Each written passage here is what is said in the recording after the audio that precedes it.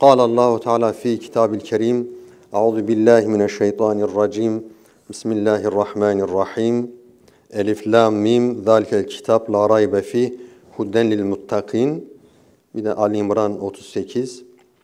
Hâde beyan linnas huden ve mev'izeten lil muttakin. Sadakallahul azim ve bellagana rasulun nebiyyül kerim.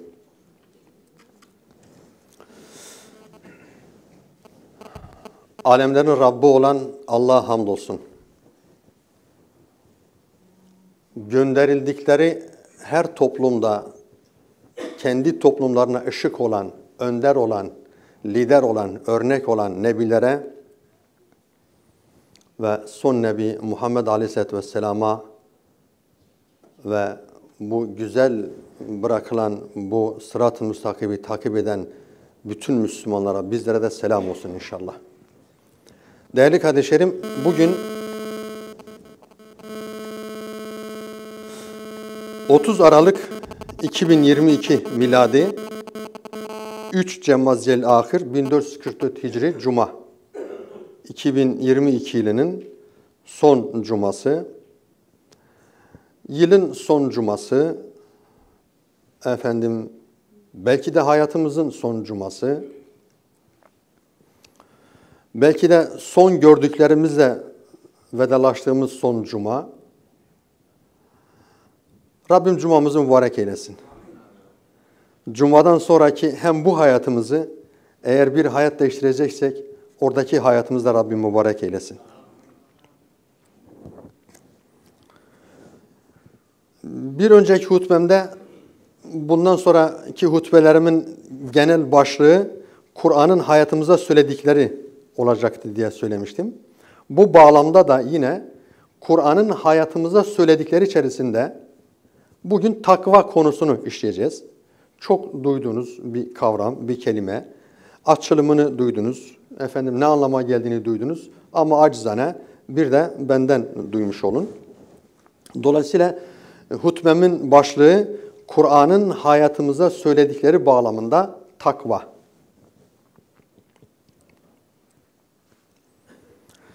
Okuduğum iki ayet-i kerimede Kur'an'ın bir hidayet rehberi olduğu Bakara suresindeki ayet-i kerimede ama Kur'an'ın bu hidayet özelliğinin ancak takva sahipleri için geçerli olduğunu, yine Ali İmran 38'deki ayet-i kerimede de Kur'an apaçık, beyan, mübin efendim bir kitaptır. O da ancak takva sahipleri için bir öğüt, bir nasihat ve bir hidayet kaynağıdır. Yani Kur'an'ın nüfuz edeceği kalp takvayla donatılmış bir kalp olması lazım ki ona rehberlik etsin. Şimdi takvanın kısaca bir kelime anlamına bakalım. Takva korumak, korunmak, muhafaza etmek, edilmek, saygı göstermek, itaat etmek, çekinmek, edepli davranmak bizim en çok sık mana verdiğimiz aslında sonuncusu da korkmak. Ki bu da yine bir e, yırtıcı bir canlıdan korkar gibi değil. Saygısızlıktan korkmak. Yani takvanın şeyi bu. Kelime anlamı bu. Takva kelime olarak takva kelimesi olarak Kur'an'da 17 ayete geçer, ayette geçer. Ama türevleriyle birlikte Kur'an'da 285 yerde geçer. Çok önemli bir kavram. Yani tabiri caizse Kur'an'ın kalbi olan bir kavram. Zaten kalpten neşet eden bir kelime ve onun türevleri.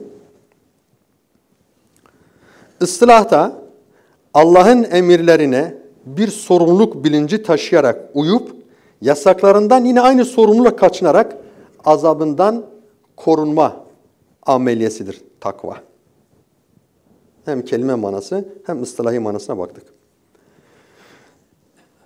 Takvanın üç şahsiyet tarafından çok güzel üç açıklaması var. Ama bunları hutbemin sonuna bırakacağım.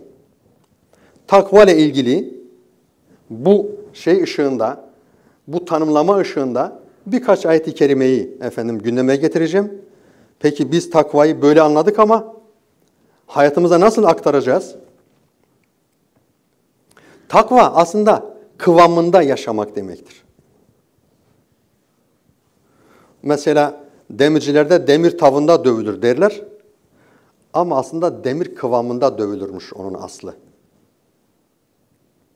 Ben demirciler bölgesinin olduğu bir yerde tanıyan arkadaşlarımızdır orada görev yaptım. Demiri nasıl dövdüklerine, bu demiri kıvamında dövmek nasıl bir şey? Orada biraz şahit olmuştum.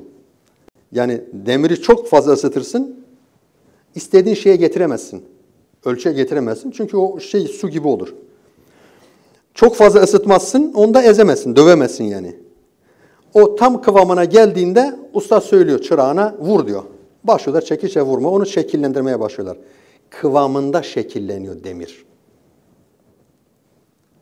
Bu kadar sert bir madde kıvamında şekilleniyorsa, efendim etten, kemikten, sudan, kıldan, tüyden meydana gelen bu insan eğer kıvamında yaşamıyorsa nasıl şekillensin? Ya da kıvamında yaşayacaksa çok güzel bir şekil alır. Eğer demir şekil alıyorsa insan da şekil alır. Yüzüyle, hal hareketiyle, davranışlarıyla, mimikleriyle, yolda yürüyüşüyle. Mesela Kur'an takvanın kıvamında o yaşamak olduğunu, bunun hayatın her alanında olması gerektiğini bize şu ayetlerle açıklıyor. Mesela yemede ve içmede kıvam. Kıvamsızlığın bizi ne hale getirdiğini görüyorsunuz değil mi? Evet, İsra 29. Harcamada kıvam, harcamada denge. Araf 31, En'am 141. Şimdi bu günler tam bu böyle bu kıvamı, bu dengeyi sarsacak günler. Değil mi? İnsanlar satış yapacaklar. Sizi bir yere çağıracaklar. Efendim reklamlardan geçilmiyor. Efendim ihtiyacınız var. Bankalar sonuna kadar size açık. İstediğiniz kadar kredi kullanabilirsiniz. Sonra ödemesine karışmayın. Şimdilik gidin alın. Kıvamsızlığın, harcamada kıvamsızlığın yani dengesizliğin toplumu getirdiği nokta. Mesela konuşmada da bir kıvam var. Hucurat 2. Onu destekleyen başka ayetler de var. Bağırıp çağırmaya gerek yok.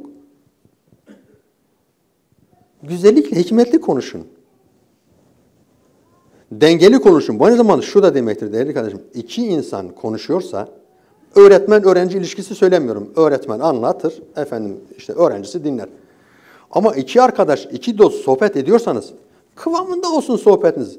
Bir saat konuşacaksanız 55 dakika biri 5 dakika biri konuşmasın yani. Yani 55 dakika konuşan insan 5 dakika konuşan insana zulmediyor demektir. Ha o biriniz tamam yani sen konuş ben seni dinleyeyim diyorsa fedakarlık yapıyorsa başka. Yani bu manada da kıvam. Nasihatte kıvam, derste kıvam, efendim, sözde kıvam, kelimeleri seçerken kıvam. Hani derler ya işte en son kullanacağın sözü ilk başta kullanma gibi. Bu da bir kıvamdır aslında. Mesela uyumada kıvam işte Müzzemmil 12. ayet Allah Resulü şahsında bizlere bir uyuma metodu, bir kıvam bize sunuyor efendim. Talak onda akıl ve vicdanın takvalı olmayı gerektirdiğini söylüyor. Yani eğer akıl ve vicdan aynı anda birbirini destekleyecek şekilde hareket ederlerse ortaya takva çıkar. Çünkü eğer akıl ve vicdan bir araya gelirse yemede dengeli olur, içmede dengeli olur, trafikte dengeli olur, sohbetinde dengeli olur, uyumasında dengeli olur, sofrasında dengeli olur. Ama akıl ile vicdanın bir araya gelip ortaya bir şey koyması lazım ki takva denen şey ortaya çıksın. Yine mesela Araf 26'da en güzel örtünün takva örtüsü olduğu söyleniyor.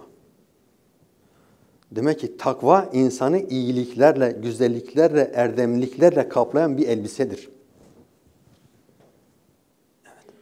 Müslüman o elbisenin içerisinde hareket etmeli. Yani kıvamında hareket etmeli. O örtü altında olmalı ki başkasına kıvamdan, takvadan bahsettiği zamanda da efendim karşıdakinin beyninde çelişki oluşmasın. Yani insanın fıtratında olan şeyler var değerli kardeşlerim işte sinirlik var, asabiyet var, işte sevgi var. Bunların da dengede kıvamında olması lazım. Mesela aşırı sevgi ilahlaştırır. Sevgisizlik ise yalnızlaştırır. Demek ki sevgide de bir dengeli olmak lazım. Mesela as, hırs, hırs bir insanda Allah insanın benliğine koymuştur bu hırsı. Ama aşırı hırs ne yapar insanı? Harama götürür. Yani hiç hırsız, hırsı bir tarafa bırakmak da insanı tembelleştirir. Onun da bir kıvamında olması lazım. Değerli dostlar, takva insanın benliğinde var. Aslında takvalı davranmak, o benlikte var olan o kıvamı korumaktır. Yoksa ona bir şey eklemek değil. Allah zaten koymuştur. Allah bunu herkesin içine koymuştur. Yani duyarlı davranmayı, sorumlu davranmayı, sorunu davranmayı, himaye etmeyi, dolayısıyla yetimi korumak da bir takvadır. Koruma altına alıyorsun onu. Mesela Allah kendisi için Allah ehlü takvadır buyuruyor yani. Ve ehlil mağfire. Allah'ın bizzatihi kendisi koruyandır. Koruyandır, takva ehlidir ve takvayı emrediyor. Müddessir suresi efendim 56. ayet-i kerimede. Bakara suresi 194'te Bakara'da allah Teala takva sahibi olanlarla beraberdir. Eğer siz bu meziyeti kazanmışsanız, hayatınız dengeli olarak devam ediyorsa, duyarlı olarak devam ediyorsa Allah sizinle beraberdir. Allah takva ehlini sever. Tevbe 36 123.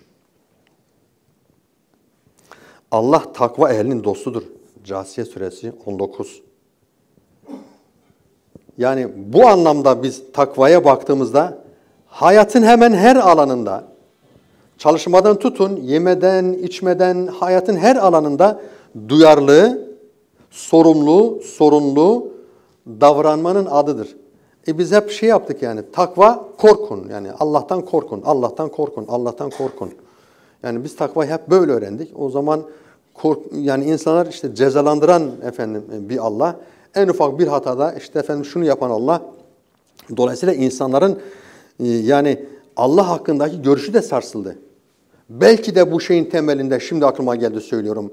Yani kendisiyle Allah arasına aracı koyanların da şeyinde bu yatıyor. Yani Allah azap ediyor. Efendim çok korkmuş bir varlık. Dolayısıyla biz yaklaşamayız ona. Birini bir araya koyalım da bizi böyle bir hafifçe yaklaştırsın ona. Dır belki yani. Bunun da payı vardır yani. Halbuki Allah merhametten en merhametlisidir. Bizzatihi kendisi doğru yol üzere ve kendisi bizzatihi takva ehlidir ve takvayı emreder. Değerli kardeşlerim, ayetler ışığında takva sanırım fazla uzamadan belli olmuştur e, maksadımız. Bu üç şahsiyetin, bir önce hutbenin başına söylemiştim, takva ile ilgili e, açıklamaları var. Gerçekten yani bende çok şeyi olan, etkisi olan üç söz. E, inşallah sizde de ve diğer duyan bütün arkadaşlara da etkisi olacaktır. Şerif el-Cürcani'nin takva tarifi. Ceza almayı, kınanmayı haklı kılacak her tür söz ve davranıştan kendini uzak tutmaktır. Yani öyle davranacaksın ki sen o davranışın cezayı gerektirecek bir davranış olmayacak, kınanmayı gerektirecek bir davranış olmayacak. Kınanmadan ve cezalandırılmaktan uzak bir davranış. Bu takvalı bir davranıştır. Gazali'nin bir şey var, takva tarifi var. Çok uzunca. İnsan buna baktığı zaman gerçekten yani sanki Kur'an eşittir hayat, hayat eşittir takva. Düşünüyorsun, anlıyorsun. Gazali şöyle tarif ediyor takvayı. Vakıf, velayet, vakıflarda eğer takvalı davranılmazsa vakıflardan meydana gelen olaylara şahit oluyorsunuz. Evet. Hani vakıf bir emanetti? Hani emanete karşı takvanın tar tarifi içerisinde duyarı davranmak vardı? Korumak vardı? Onu en üst seviyede, en üstte tutmak vardı.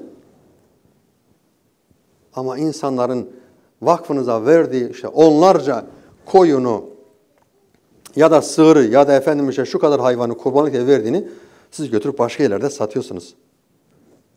Efendim. Gazali onu da alıyor takvanın şey. Vakıf, velayet, bunların her bir açıklanacak kavramlar. Vesayet, miras gibi konularda hassas davranmaktır takva.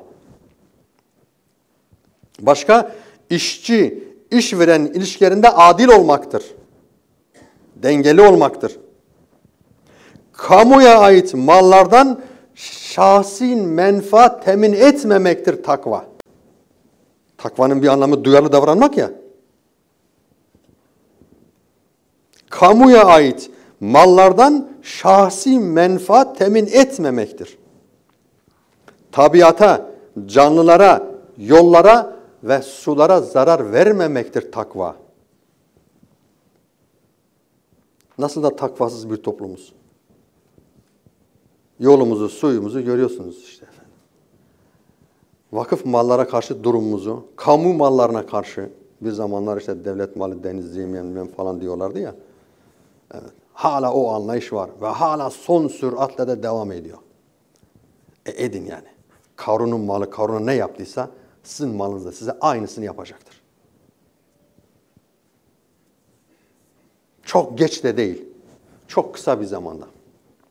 Çünkü hayat çok kısadır. Evet, tabiata, canlılara, yollara, yollara ve sulara zarar vermemektir. Zarar vermeme sorumluluğunu yüklenmektir diyor takva Gazali. Evet. Bir tanım daha var, onu da okuyayım, dersimi bitireyim. Rahmetli Hasan el-Benna'nın kardeşi Cemal el-Benna. Bu aslında takva eşittir salih amel bağlamında anlatıyor. Ama madem takvanın karşılığı sorumlu davranmaktı, duyarlı davranmaktı, o halde bu takvadır. Bir, kendinizle. İki, Müslüman kardeşlerinizle. Bu tabir ilk defa bu şeyden duyuyorum hmm, rahmetliden. İnsan kardeşlerinizle. Değil mi? Biz insana düşman değiliz. Biz onlar için de zulmü ön planlara, ön plana çıkanlara düşmanız. Biz zalime düşmanız. Biz yanlış fikire karşıyız. Biz sömürüye karşıyız.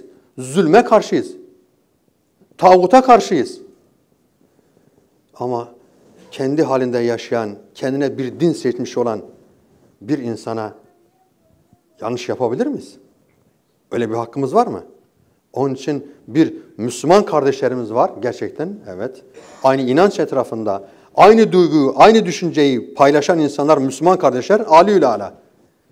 Ama bir de bizim inancımızı değil, başka bir inanç seçmiş olan insan kardeşlerimiz var. Efendim burası işte e, Darul Harp'tır. Onların mallarını yemek caizdir.